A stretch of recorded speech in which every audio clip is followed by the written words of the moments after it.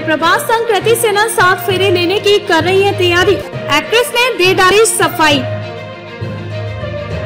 Baahubali Prabhas Bhediya actress Kriti Sanon लगातार अपने relationship status को लेकर चर्चा में है।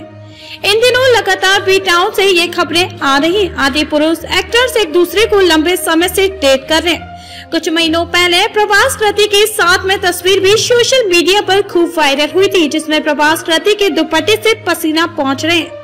हाल ही में वरुण धवन ने बातों ही बातों में कृति सेनन के रिश्ते की रियलिटी शो में पोल खोल दी, जिसकी एक या दो दिन बाद ही सोशल मीडिया पर यह खबर तेज़ी से वायरल हो गई कि कृति सेनन प्रभास संग जल्द ही सगाई करने वाली है। प्रभास संग अपनी सगाई की इन खबरों पर पूर्ण विराम लगाते हुए अब कृति सेना ने सफ़ाई दी है और साथ ही अपनी शादी की खबरों को लेकर भी सोशल मीडिया पर एक पोस्ट शेयर किया। कृति सेना ने प्रभास संग शादी की खबरों पर कही ये बात।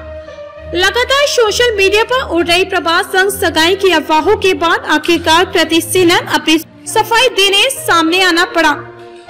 बीती रात भेड़िया एक्ट्रेस ने अपने इंस्टाग्राम पर एक स्टोरी पोस्ट की। इस पोस्ट में कृति ने लिखा, ये ना तो प्यार है और ना ही प्यार है। हमारा भेड़िया रियलिटी शो में थोड़ा सा ज़्यादा ही वाइल्ड हो गया।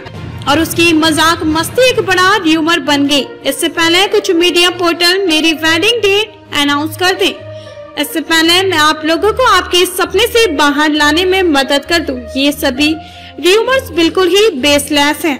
वरुण धवन ने खोली थी कृति सेनन के रिश्ते की पोल कुछ दिनों पहले जब वरुण धवन और कृति सेनन कलर्स के dance reality show Jhalak Dikhla Jao के ग्रैंड फिनाले में अपनी फ़िल्म भेड़िया को प्रमोट करने के लिए आए थे। तो उस वक्त उन्होंने करण जौहर संग मंच पर बेस्ट ऑफ़ टाइम एक गेम खेला, जिसमें उन्होंने करण से कई सवाल पूछे। इसी बीच वरुण ने जब करण से ये पूछा कि, माधुरी दीक्षित को छोड़कर बॉलीवुड में किसके चेहरे पर सबसे ज़्यादा चार्म है? तो उस बात का जवाब बताते हुए करण ने दीपिका पादुकोण का नाम लिया। इसके बाद करण ने वरुण धवन से सवाल करते हुए ये पूछा कि, इसमें कृति सेनन का नाम क्यों नहीं है? जिसकी सफ़ाई देते हुए वरुण धवन ने कहा कृति किसी और के दिल में रहती है जो अभी मुंबई से बाहर दीपिका के साथ शूट कर रहे हैं। वरुण धवन की ये बात सुनकर कृति शर्मा गई थी। फैंस भी वरुण धवन के इस हिंट को बखूबी समझ गए।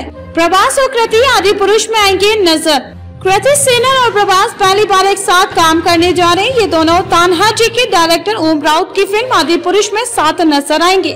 फ़िल्म में प्रभास राघव के किरदार में नज़र आएँगे और कृति इस फ़िल्म में जानकी का किरदार निभाएँगी। इस फ़िल्म के टीजर के सामने आने के बाद। इसका बी एफ़ देखकर फैंस काफ़ी निराश हुए थे। आदि पुरुष में कृति सेनन और प्रभास के अलावा सैफ अली खान मुख्य भूमिका में है। और ये फ़िल्म 2024 में सिनेमा घरों में रिलीज़ हो रही है।